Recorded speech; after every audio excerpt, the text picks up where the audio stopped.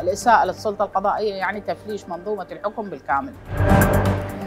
دعم سياسي للمحكمة الاتحادية ومطالبات بفرض قوانين تحافظ على مكانة السلطة القضائية.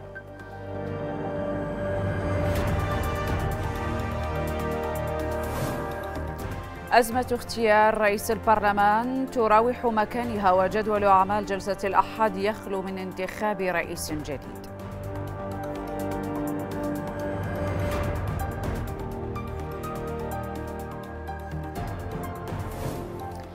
العزم يكشف عن انفراجة سياسية في ديالى وتركمان يحذرون من فرض مبدأ تبادل السلطات.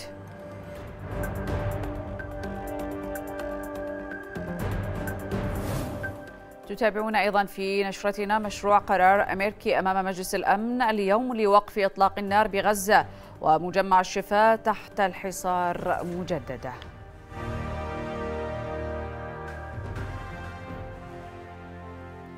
إلى التفصيلات. أهلا بكم. أشاد رئيس الجمهورية عبد اللطيف رشيد بدور رجال القضاء في تطبيق التشريعات والقوانين التي تحفظ النظام السياسي والديمقراطي في العراق. رشيد وخلال لقائه رئيس مجلس القضاء الأعلى فائق زيدان أكد أن القضاء ركن مهم من أركان الدولة. من خلاله تحفظ الحقوق والممتلكات وتترسخ العدالة ويطبق القانون وينصف المظلومون. ومن جهته أكد زيدان أن مجلس القضاء انتهج خطأ واضحا تجسد في ترسيخ استقلالية القضاء والنأي عن أي تدخلات أو ضغوطات. رفضت رئيس حركة إرادة النائب حنان الفتلاوي ما تتعرض له السلطة القضائية من إساءة. الفتلاوي وفي حديث لبرنامج القصر مع غزوان جاسم أكدت أن الإساءة للسلطة القضائية يعني نهاية الحكم بالكامل. نحترم قرارات المحكمة الاتحادية أنا عن نفسي أحترمها وألتزم بها حتى وإن كانت لربما أقتنع بها وما أقتنع أنا أحترم قرارات السلطة القضائية. لا أتبنى الإساءة للسلطة القضائية بالعموم والمحكمة الاتحادية بالخصوص لأنه إحنا بالنتيجة إذا أسأنا لهذه السلطة المتبقية الوحيدة أسأنا للتشريعية وسأنا للتنفيذية وسأنا للهيئات المستقلة ما بقت عندنا إلا السلطة القضائية. الإساءة للسلطة القضائية يعني تفليش منظومة الحكم بالكامل. بالتالي أنا أدعو إخواننا السياسيين أن يبعدون المحكمة الاتحادية عن مناكفاتهم السياسية. ودعوة صادقة للزملاء النواب أن يقللون مو حتى اللي يعطس يروح للمحكمة الاتحادية، يعني إحنا عندنا بعض النواب إذا عطس راح للمحكمة الاتحادية، عطستي دستورية لو مو دستورية، ماكو ماكو هيك، يعني أنا دورة بأكملها مقدمت لي طعنين بالمحكمة الاتحادية، دورة أربع سنين، ودورة بأكملها مقدمة طعن واحد للمحكمة الاتحادية، واحد منهم أتذكر تقاعد النواب وقبت العيطة علي ذاك الوقت من الغينا التقاعد. إلى ذلك أشارت الفتلاوي إلى أن المحكمة الاتحادية يحكمها الدستور وتعمل وفق القانون مؤكدة أن قراراتها ملزمة للجميع. المحكمة الاتحادية يحكمها دستور وقانون وتعمل بوفق القانون. أكو حالة رضا من البعض لد يعني على قراراتها وأكو عدم رضا عند البعض بالنتيجة القضاء من يحكم حتى القضاء العادي مو المحكمة الاتحادية أكو طرفين أكو طرف يطلع يهلهل وأكو طرف يطلع يشتم. بالمحكمة العادية هسه المتهم لو يحكم براءته لو يدان لو يفرح لو يبكي. صح. نفس الشيء بالمحكمة الاتحادية القرار من يصدر أكو طرف متضرر وأكو طرف فرحان. فالمحكمة الاتحادية تترك الطعن بالقضايا الكبيرة. طيب. دستورية قوانين صراع بين حكومات اتحادية وحكومات إقليم هذني القضايا مو بالصغيره والكبيره تروحون للمحكمة الاتحادية تمام. ولا أتبنى الإساءة أو التسقيط أو التشهير بها بالتالي هي محكمة مشرعة بموجب الدستور الأشخاص إحنا اللي صوتنا عليهم ما أجبرنا عليهم بالتالي وينظم عملهم قانون فأنا لا أتبنى طيب. هذا التشهير والتسقيط وكان الإطار التنسيقي قد أكد أهمية الالتزام بمبدأ الفصل بين السلطات وعدم أو عدم تمدد أي سلطة على الأخرى. الإطار في بيان أشار إلى أنه ينظر بعين الاحترام للمحكمة الاتحادية ويؤكد احترامه لقراراتها وعدم التقليل من شأنها. كما دعا القوى كافة إلى التزام ذات المنهاج وبين الإطار التزام قواه كافة بقرارات سابقة للمحكمة الاتحادية رغم كون بعضها ليس في مصر مصلحته.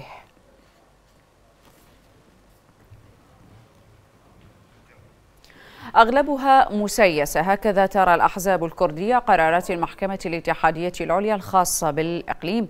الاتهامات والخلافات في هذا الملف. رصدها لنا فقار فاضل في هذا التقرير لنتابع. تتصاعد حدة الجدل حول الاتهامات التي تلاحق المحكمة الاتحادية العليا بعد قراراتها الأخيرة التي وصفتها الأحزاب الكردية بالمسيسة بالإضافة إلى اتهام نائب سابق عن تلقيه تهديدات مباشرة من قبلها اتهامات تراها الأوساط السياسية مقصودة من قبل جهات معينة.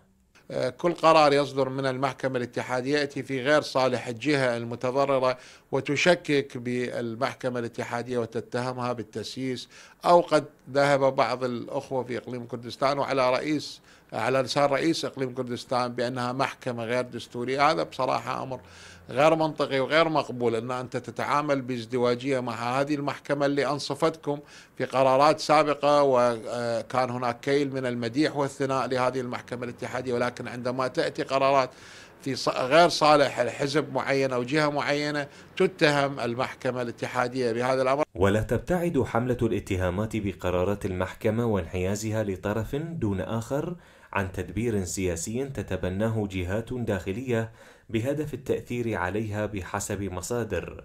في وقت يحذر مراقبون من إدخال القضاء بالخلافات السياسية. أعتقد المحكمة الاتحادية يجب أن تتحرك وأن تبتعد عن كل السجالات السياسية لأن الشعب العراقي هو يعول على القضاء العراقي وعلى المحكمة الاتحادية. بالتالي حتى لو تكون هناك اعتراضات وامتعاضات من قبل بعض أصحاب القرار السياسي الذين تصدر بحقهم مذكرات أو قرارات إبعادهم أو آه، سحب العضوية من آه، شخوصهم أن لا يكون هذا التهجم في الإعلام وبالتالي يتم التشكيك في أعلى سلطة في الدولة العراقية.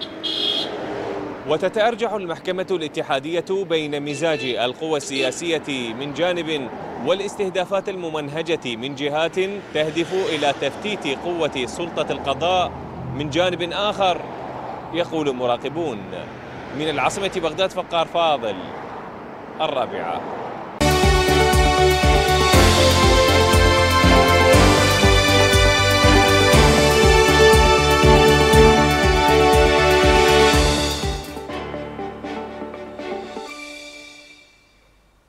خلا جدول أعمال جلسة البرلمان ليوم الأحد المقبل من فقرة انتخاب رئيس جديد لمجلس النواب. وبحسب الدائرة الإعلامية للمجلس فإن جدول الأعمال يتضمن التصويت على قانون ومناقشة ثلاثة أخرى ليس من بينها انتخاب رئيس جديد لمجلس النواب. كشف تحالف العزم عن وجود انفراجة بأزمة مجلس محافظة ديالى خلال الأيام القليلة المقبلة. وقال القيادي في التحالف محمد الهدلوش أن قوى الإطار التنسيقي ستوحد اسم مرشحهم لمنصب المحافظ. باعتبار المنصب كان العامل الأكبر بتأخير حسم تشكيلة الحكومة منذ أسابيع. مضيفا أن عقد جلسة يوم غد ممكنة إذا ما توفرت الظروف المناسبة لها. وتمت بنود الاتفاق بين القوى والسياسية رئيسية في المجلس. أرجع الاتحاد الإسلامي لتركمان العراق تأجيل اجتماع رئيس الوزراء محمد شيع السوداني مع قوى مكونات محافظة كركوك إلى رفض بعض الأطراف مقترح تبادل السلطة. وقال الاتحاد أن الأوراق التي رفعتها قوى كركوك لتوضيح رؤيتهم بتشكيل الحكومة المحلية إلى السودان تضمنت اختلافا كبيرا وشاسعا بين مكوناتها مبينا أن المقترح الوسطي بتقاسم السلطة لكل مكون لمدة سنة وثمانية أشهر تم الاعتراض عليه من قبل العرب والكرد لكونهما طالبا بإبعاد التركمان من التقاسم معهم.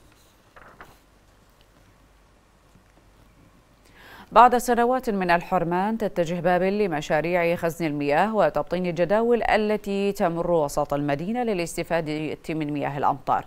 وتيرة سير العمل في هذه المشاريع وما رافقها من إزالة للتجاوزات. وثقها لنا مراسلنا في المحافظة زيد شهيب في هذا التقرير لنتابع. على امتداد كيلومترين يمتد مشروع التكسية الحجرية لنهر الفرات في ناحية المسيب شمال بابل. مشروع يعتمد على تكسية جوانب النهر وإزالة التجاوزات الموجودة على محرماته ليكون هو المشروع الثاني بعد شط الحلة. وضمن الأولويات الاستراتيجية بعد حرمان المحافظة من هذه المشاريع. طوال السنوات الماضية. المشروع تكلفته 7 مليارات و600 المدة العقدية الأصلية هي 365 يوم. صارت به كشوفات إضافية. وإحنا هذا يفترض ان أن إنجازه حوالي أكثر من 95% والمدة إن شاء الله المدة اللي مقررة الأيام القليلة إن شاء الله نسلم المشروع.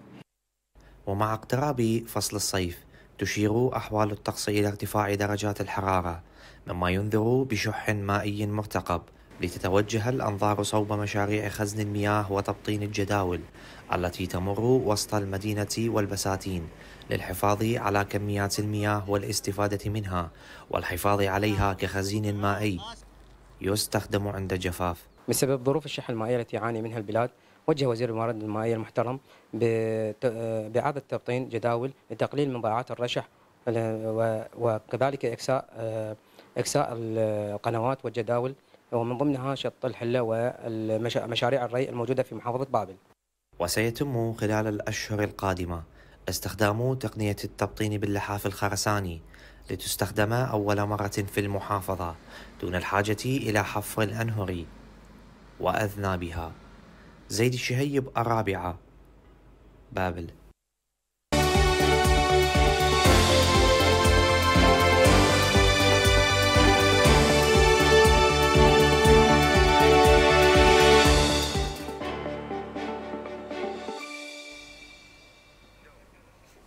أمنيا فككت مفارز معاونية استخبارات الحشد الشعبي شبكة دولية لتجارة المخدرات في محافظة البصرة. وذكر بيان لهيئة الحشد أن الشبكة التي تم تفكيكها كان بحوزتها أكثر من 90 ألف حبة مخدرة. مشيرا إلى أن الشبكة كانت تروم إلى إيصال الحبوب المخدرة إلى عدد من المحافظات العراقية. أعلنت وزارة الداخلية ضبط تسعة كيلوغرامات من مادة الهيروين المخدرة في قضاء حديثة بمحافظة الأنبار. وقال الناطق باسم الوزارة وخلية الإعلام الأمنية العميد مقداد ميري أن مديرية شؤون مخدرات الأنبار نفذت عملية أمنية في قضاء حديثة أسفرت عن ضبط تسعة كيلوغرامات من المواد المخدرة وتأتي تلك العملية وسط دعوات نيابية إلى تضافر الجهود الحكومية وتعاون المجتمع لمواجهة آفة المخدرات في البلاد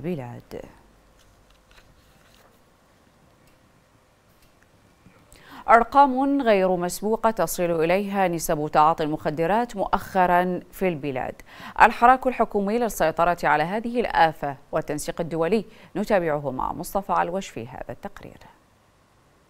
بعد أن أخذت آفة المخدرات بتشكيل أرقام مفزعة في المجتمع العراقي وتهديدا حقيقيا لأرواح الشباب. تتحرك الحكومة لتشكيل تحالف عالمي لمحاربة هذه السموم والآفات التي تفتك بالمجتمعات.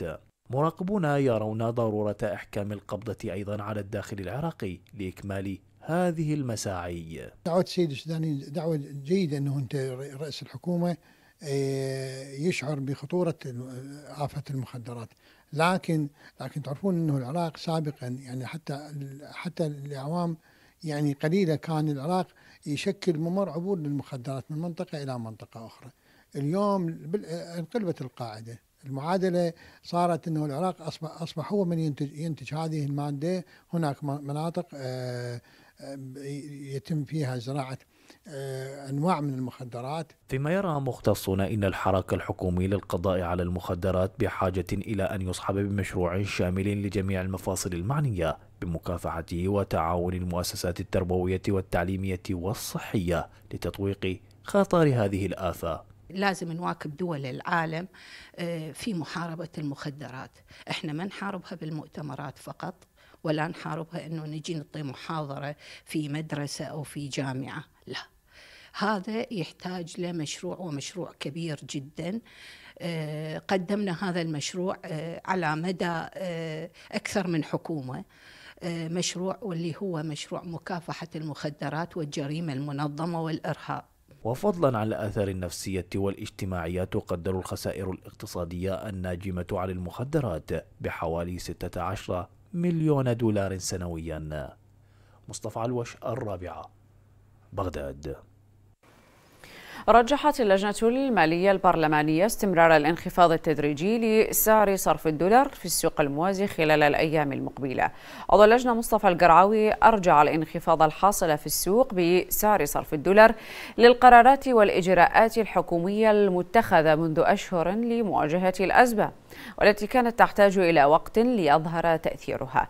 مبينا أن الأيام المقبلة ستشهد انخفاضا مستمرا وبشكل تدريجي وسيدفع نحو السيطرة الكاملة الرسمية على ملف الدولار.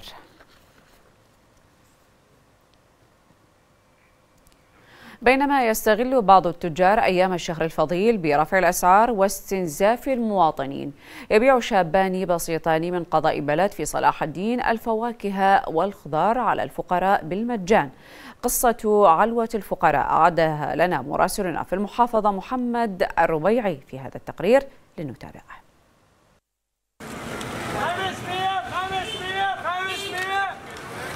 على النقيض من غلاء أسعار اللحوم والمواد الغذائية وبشعارات تدعم الطبقة الفقيرة.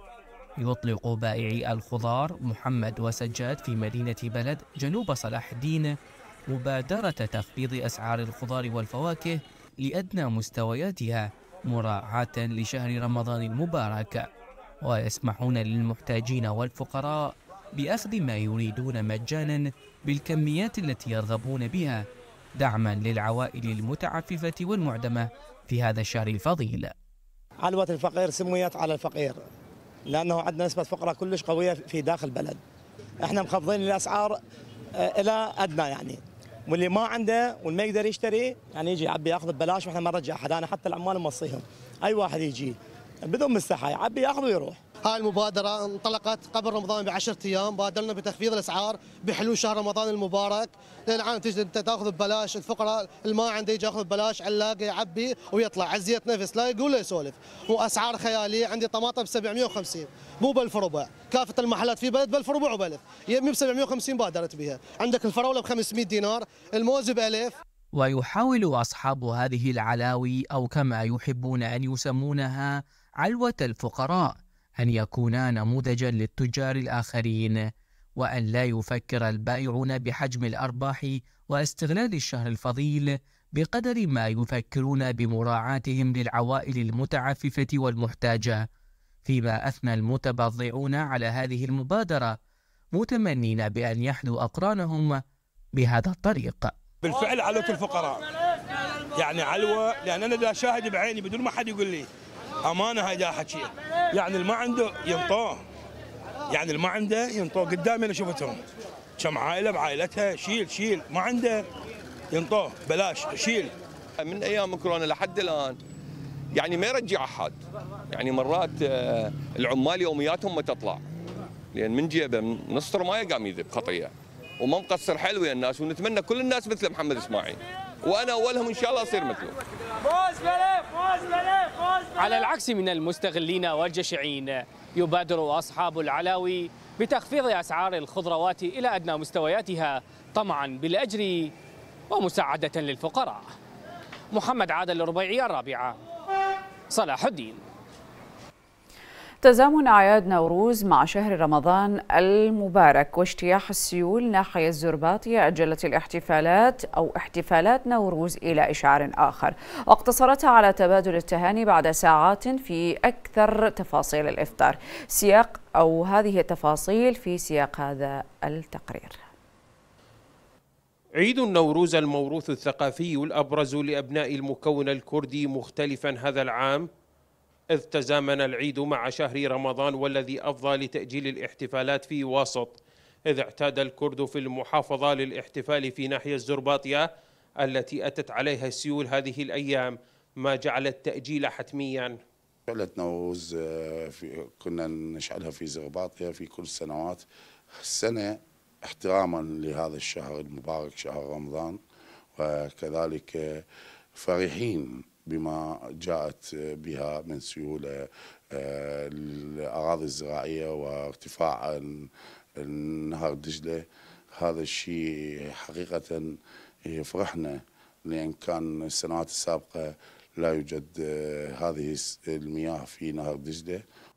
الاحتفالات التي تشهدها الناحية سنويا محط إقبال جميع الواسطيين كردا أو عربا يشاركون إخوتهم هذه المناسبة وهذا العام لما تقدم من ظروف فقد عزموا على تقديم التهاني لهم في أوقات ما بعد الإفطار. ليلة نوروز إحنا نشعل شعلة يعني بحضور الوجهاء وشخصيات الكرد الفيلين وأبناء محافظة واسط. ونحيي الفلكلور الكردي من من خلال الدبكات الكردية. الفلكلور الكردي الشعلة شعلة هي اللي هي انتصار يعني انتصار الحق الحق على الباطل. صادف عيد نوروز في شهر رمضان المبارك. وتعرف الناس أغلبها يعني بحالة صيام. لذلك إحنا نحتفل سنويا بمدينة زرباط يعني توجه من الصبح سنويا المدينة الزرباطية ويكون هناك ملتقى لكل العوائل العوائل الكردية والعربية والكل يشارك أفراح الأخوة الكرد. لكن السنة أيضا أكو سيول قادمة من الجارة إيران. لذلك منعتنا أنه إحنا نروح. إن شاء الله اليوم بالليل راح نتواصل مع الأخوة الأكراد ونقدم لهم كل التهاني. وتشهد ناحية زرباطيا في الوقت الحاضر موجة من السيول التي أتت على معظم المناطق السياحية فيها.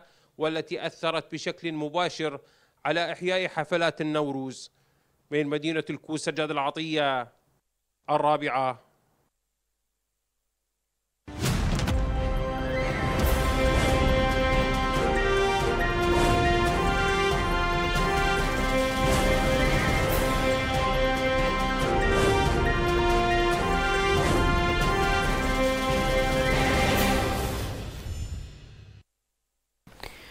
الشأن الدولي قدمت الولايات المتحدة مشروع قرار لمجلس الأمن يدعو إلى وقف فوري لإطلاق النار في غزة.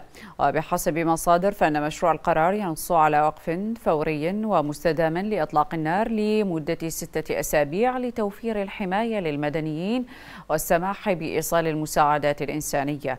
كما يدعم مشروع القرار الجهود الدبلوماسية الدولية الجارية لتأمين هدنة مرتبطة بإطلاق سراح جميع الرهائن المتبقين. لدى حركة حماس.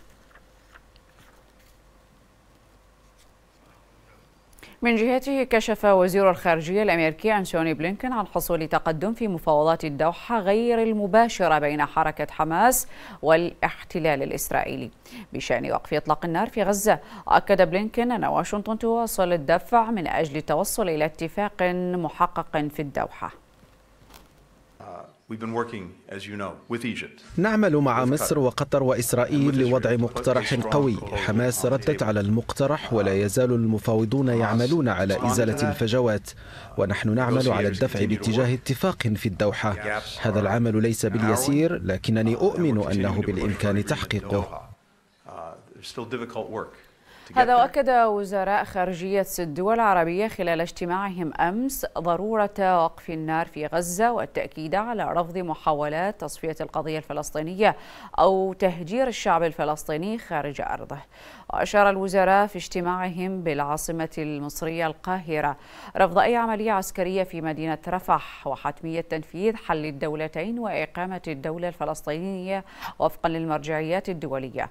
محذرين من التداعيات الإقليمية الخطيرة والمتزايدة لتوسيع رقعة الصراع في المنطقة بشكل بات يهدد استقرار وسلامة الإقليم والعالم.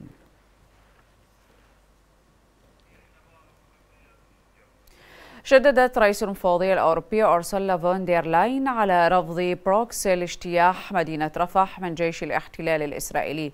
فون دير لاين في تصريح صحفي أكدت على ضرورة إدخال المساعدات إلى غزة بكل الطرق بما ضمنها الطرق البرية.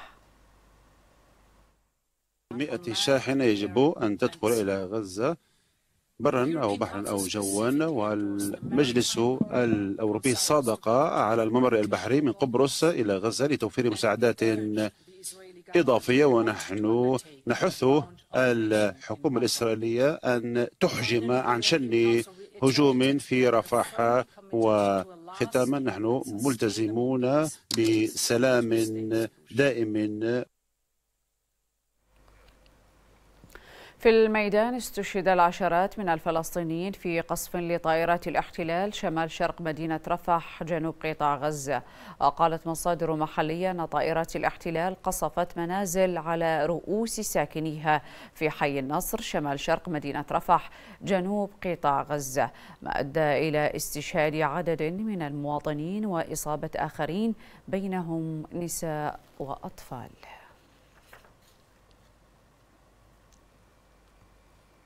أكد المكتب الإعلامي الحكومي أن جيش الاحتلال الإسرائيلي تعمد قتل 13 مريضا بمجمع الشفاء الطبي منع عنهم الدواء, الدواء والمحاليل والكهرباء والغيارات والأكسجين منذ احتلاله للمجمع.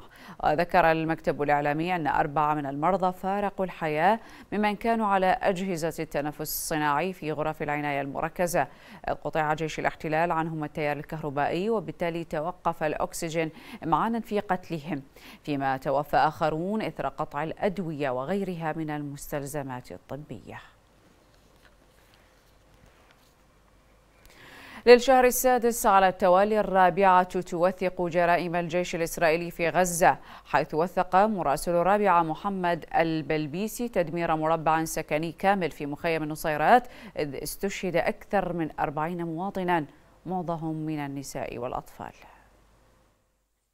سياسة تدمير المربعات السكنية سياسة واضحة في قاموس الاحتلال الإسرائيلي الذي بات يستهدف المدنيين العزل الآمنين في منازلهم. هنا في مخيم النصيرات تحديدا في منطقة شارع العشرين قامت طائرات الاحتلال الإسرائيلي باستهداف عدد من المنازل في مربع سكني كامل قامت بتدمير هذا المكان فوق رؤوس ساكنيه ما أدى إلى استشهاد العشرات من المواطنين الفلسطينيين يعني وأيضا وجود أكثر من 20 مفقود تحت ركام هذه البناية التي نتواجد نحن أمامها.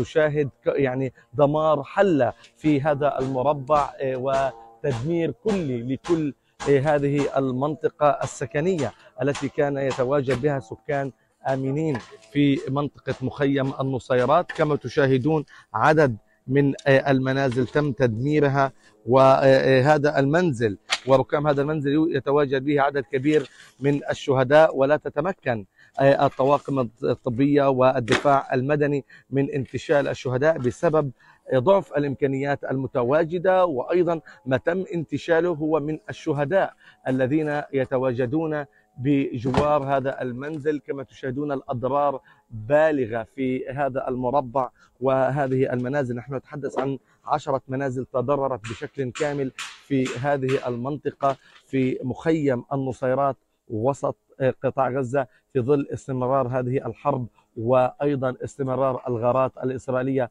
التي لا تتوقف. قاعدين في أمان الله في الدار ونايم في الصغار ما لقينا إنه الحيطان بتقع قاعد والنار بتدخل والغبرة دخلت علينا زي هيك. نزلنا على الشارع زي ما أنتم شايفين المنظر اللي شفناه هذا.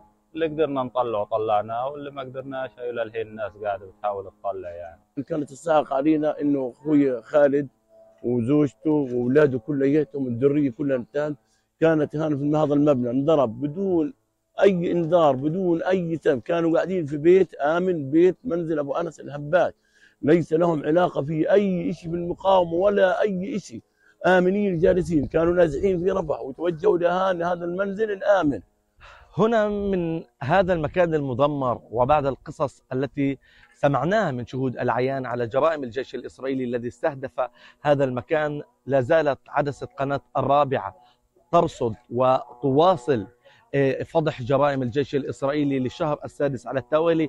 نحن نتنقل من مكان إلى آخر لتوثيق هذه الجرائم التي ترتكب ضد المدنيين العزل الصائمين في شهر رمضان المبارك. ولا يمكن لنا أن نتوقف تجاه هذه الرسالة السامية التي ننقل معاناة شعبنا الفلسطيني لكل العالم. محمد البلبيسي قناة الرابعة مخيم النصيرات وسط قطاع غزة. في الختام يواصل برنامج الملياردير الذي تعرضه قناة الرابعة التربع على نسب أعلى المشاهدات في الوطن العربي. مراسلنا في القاهرة حسام عثمان. رصد لنا ردود الفعل الشعبية التي لاقاها البرنامج في سياق هذا التقرير لنتابع معا. من أول حلقة استطاع برنامج الملياردير لجورج قرداحي أن يسجل مشاهدات عالية في الأوساط المصرية. بعد عودته الجديدة عبر شاشة قناة الرابعة لبرامج المسابقات التي يحبها الشارع المصري. مما قوبل بالترحيب مؤكدين على نجاح البرنامج. مفاجأة جيدة قام بها الإعلامي الكبير جورج قرداحي لانضمامه للقناة الرابعة العراقية في خطوة محسوسة من هذا الإعلامي الكبير خاصة أنه أول ظهور إعلامي له منذ تقديم استقالته في الوزارة الإعلامية اللبنانية سنة 2021 هذا البرنامج الذي يعود به مرة أخرى من أجل الشعبية الإعلامية التي حققها طيلة تاريخه الإعلامي وبالتالي هو يتشابه مع بعض البرامج التي تميز بها خلال مسيرته الإعلامية. عدست قناة الرابعة رصدت الآراء التي أكدت على نجاح برنامج الملياردير لجورج قرداحي لما يقدمه من محتوى إعلامي يحمل طابعا معلوماتيا مميزا في الجوانب العامة كافة. لما يدور في إطار المسابقات والمعلومات السريعة فضلا عن الجوائز النقدية. حقيقة برنامج جميل جدا أنا بتابعه. خاصة بعد نجاح برنامج من سيربح المليون. الحقيقة استفدت منه على المستوى الشخصي من معلومات كتير جدا وأعتقد إنه هيكون إضافة كبيرة جدا في رمضان لأهل العراق. ويا بخت أهل العراق الحقيقة بالبرنامج. يعني أنا كمصرية نفسي جورج قرداحي يجي يعمل هنا برنامج في مصر ونشترك فيه. يعني. آه والله برنامج جميل جدا بصراحة وإحنا اتفاجئنا السنة دي اللي هو نزل على قناة الربيعة تحديدا يعني في رمضان. فدي حاجة جميلة جدا. ونفسنا كمان أصلا إن هو يحصل هنا عندنا في مصر. تبقى حاجة أعظم وتبقى حاجة بصراحة جميلة جدا والله. عاد والعود أحمد. هكذا يقول العديد من المصريين المتابعين لبرنامج الملياردير الذي يبث على شاشة الرابعة مما يعيد إلى الأذهان البرامج والمسابقات الخالية من التحيز والابتذال. من القاهرة حسام عثمان الرابعة.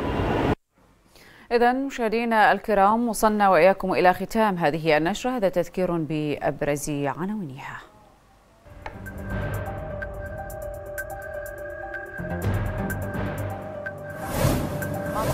السلطة القضائية الإساءة للسلطة القضائية يعني تفليش منظومة الحكم بالكامل. دعم سياسي للمحكمة الاتحادية ومطالبات بفرض قوانين تحافظ على مكانة السلطة القضائية.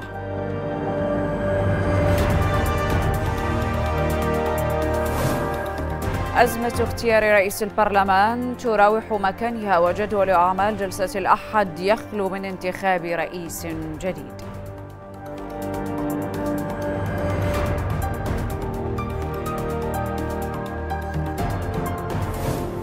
العزم يكشف عن انفراجة سياسية في ديالى والتركمان يحذرون من رفض مبدأ تبادل السلطات.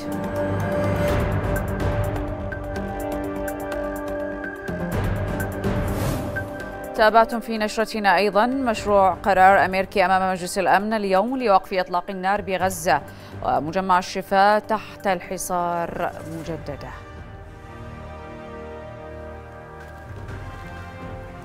إذا مشاهدينا الكرام قدمنا إليكم نشرة خبرية تفصيلية. شكرا لكم على حسن الإصغاء والمتابعة. إلى اللقاء.